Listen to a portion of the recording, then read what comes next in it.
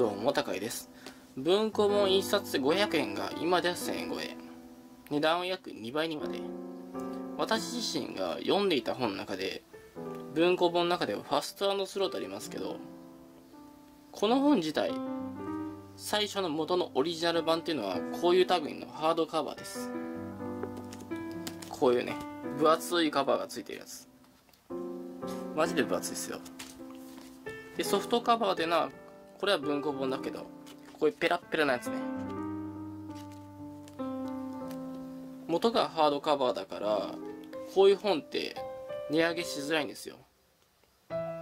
値段は約840円、プラス定価。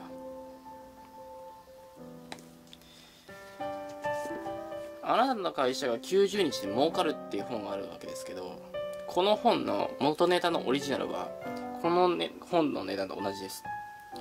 本体1600円プラスで、で、オリジナルから文庫されたのが900円プラス税なわけだよ。ちょっと安いよね。もしこういう文庫された本が倍になりましたって言ったら買う？買わないよね。だったらオリジナルの文字も大きい本を買った方がいい。その方がお得だしね。それを考えちゃうとね、元々のオリジナルから文庫化されるっていうような本なんて値段上げづらいんだよね。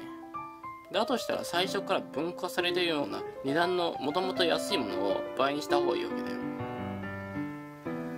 これから文庫されるような内容の本が果たしてあなた自身の期待に沿った価格なのかわからないけどもしかしたら過去の本を廃盤にして新しくリニューアルした本を倍の価格で売るっていう時代が来るかもしれない。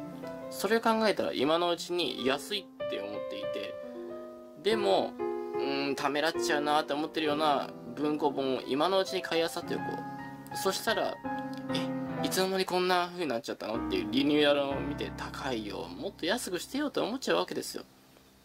だとしたら今のうちに買っとこうね。チャンネル登録お願いします。画面の右上のボタンを押してください。それでは。